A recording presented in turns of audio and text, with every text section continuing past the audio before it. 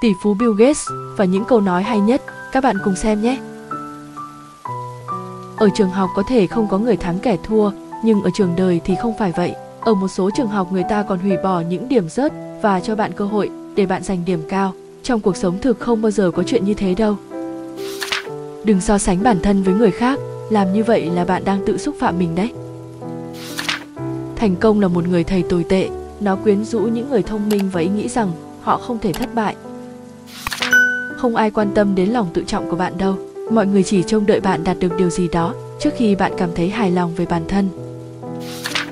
Tôi đã thi trượt một số môn, nhưng bạn tôi thì đã qua tất cả. Bây giờ anh ta là một kỹ sư trong Microsoft còn tôi là chủ sở hữu của Microsoft.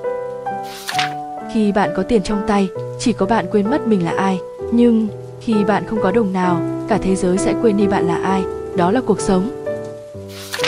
Nếu bạn sinh ra trong nghèo khó, đó không phải là lỗi của bạn, nhưng nếu bạn chết trong nghèo khó, thì đó là lỗi của bạn.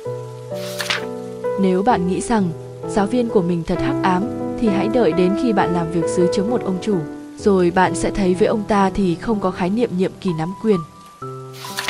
Hãy hòa nhã với những kẻ dở hơi, ai biết được ngày sau và khi đó bạn có thể phải làm việc cho một kẻ như vậy.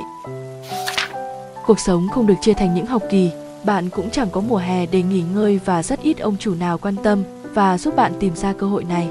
Hãy tự làm điều mình muốn trong thời gian nhàn rỗi của bạn.